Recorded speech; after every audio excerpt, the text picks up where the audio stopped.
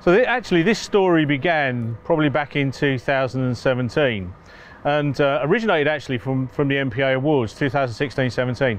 Um, I think it was Sibelco that actually demonstrated um, as one of the finalists a detection system that looked at their forklift truck actually moving within a, within a warehouse.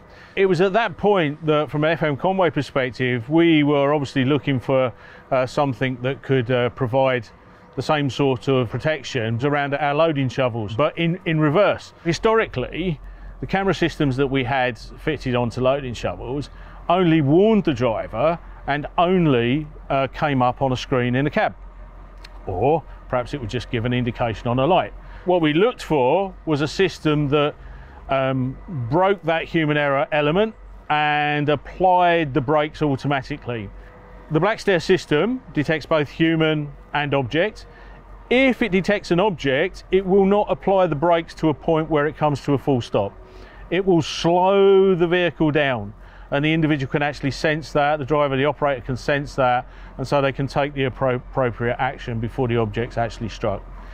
Um, from a human detection perspective, that's different because it's a critical control, it's critical at a point where you don't know where the individual is and you don't want to make contact with that individual for obvious reasons, it will apply the brakes full stop.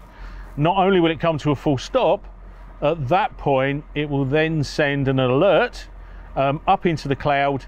It will pinpoint on a map. The maps uh, that they use come from Google, and we've, we've all seen those. We can then go into the camera system um, so that we can actually get a date, a time, and a location of where the incident occurred, and then we can then we can actually download the specific footage.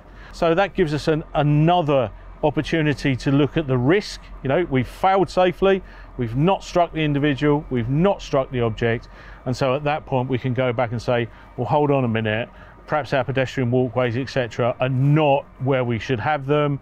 We need to make the necessary adapt, adaptation. Um, we can even coach the individual in terms of, you know, you shouldn't have been in this area, etc. We can uh, we can adjust our safe system of work. What does the future look like?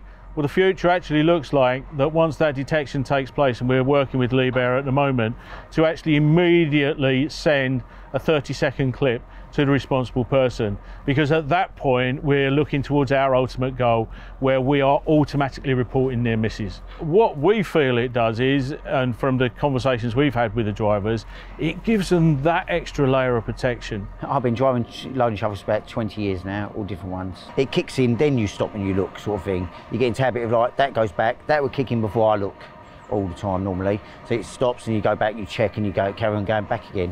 When you got up a machine, you can you can't see everything around you by looking behind. I haven't drove any machines with this level of safety before. One of the things that really excites me, and I think is is a, is a must if we're actually going to move forward um, at a significant rate, is the relationships that we build with the manufacturers. You know, working with Liebherr has been absolutely excellent. Um, we have regular meetings with them. We come up with different ideas goes through to their development team. They give us a time period as to when that's possible in terms of implementation, or whether or not there needs to be some other uh, technology that needs to come to the fore before we can actually put things in place.